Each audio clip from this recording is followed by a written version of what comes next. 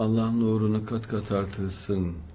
Senin cennette bana kardeş etsin. Çok güzel kızsın, çok hanımsın. Tesettüründe çok yakışmış. Ee, Allah dindarlığını daha da artırsın. Seni cennetiyle şereflendirsin. İsa Mesih tabi özellikle kıldıracak.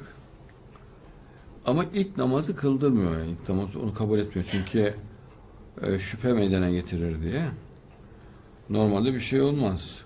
Kılabilir kadar. Ama Mehdi diyor ki sen dünyanın imamısın. Bütün dünyanın imamısın. O yüzden seni kıldırman lazım diyor. Yani eğer diyor benim bir şeyim varsa diyor yani seçme hakkım varsa ben seni imam olarak görüyorum diyor. Yani var mı diyeceğin diyor. E öyle deyince bir şey denemez. Yani ben imam olarak görüyorum diyse görüyorsa görüyordur imam olarak.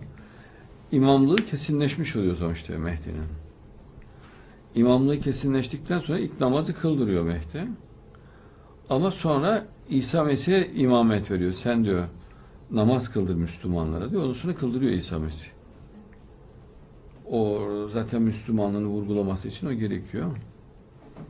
İsa Mesih modern bir delikanlı ya millet nasıl bekliyor bilmiyorum da. Biraz şaşırabilirler de çünkü onlar böyle cübbeli falan bekliyorlar. Öyle değil yani. Blue jean falan giyen, ondan sonra tişörtlü falan. Jön gibi yakışıklı delikanlı yani. Bayağı güzel. Yani. Çok mütevazi, efendi, zeki bir insan. Bir de geçmişini hatırlayamayan birisi.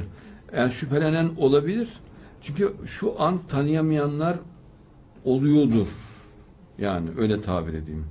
Çünkü Bediüzzaman diyor ki bak ancak murakkab havası ve seçkin talebeleri diyor. Onu imanın nuruyla tanır diyor. Yoksa bedahat derecesinde herkes onu tanımaz diyor. Yani elini kolunu sallayarak gezer de insan. Şimdi anlamaz. Yakışıklı bir delikanlı zannederler. Anlamazlar yani. Öyle aa İsa'yı şöyle çıkaramazlar. Özellikle kıyafetinden dolayı çıkaramazlar. Gayet modern. Bildiğin tişört falan. Modern tişört giyen. Modern. Ayakkabısı var. Her şey modern yani. Öyle çıkaramazlar. Ee, o yüzden uzun süre anlaşılmayacak. Evet, Mehdi ile tanıştığında da öyle moderndir kıyafet. Şey değil. Ya geleneksel kıyafet olmaz. Hayır giyebilir ama yani öyle bir şart yok. Öyle bir şey yok. Ama olur yapılabilir, yapılabilir de. Fakat kendi kıyafeti, orijinal kıyafeti saklanacak tabii ki. Yani o geldiği kıyafet. Onu peygamber çünkü özellikle belirtmiş. Rengi, biçimiyle özellikle belirtiyor ki yani insanın aklında kalsın. Sandalet tarzı ayakkabısı var bir de İsa Mesih'in. Onu da görüyoruz. Peygamberimiz ki saklanıyor. Sandalet tarzında biliyorsunuz değil mi? Evet. Deriden. İsa Mesih'in de aşağı yukarı aynı onun gibi. Peygamberimizin ayakkabısının yani aynı neredeyse. Aynısı. Hırkası da var İsa Mesih'e çok acayip o. Hırka benzerliği, ayakkabı benzerliği.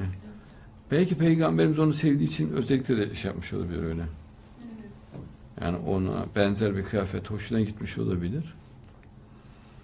Çünkü Bizans cübbesi giyiyordu Peygamberimiz. Ama çok süslü Bizans cübbesi. Şu en pahalısını giyiyordu. Ee,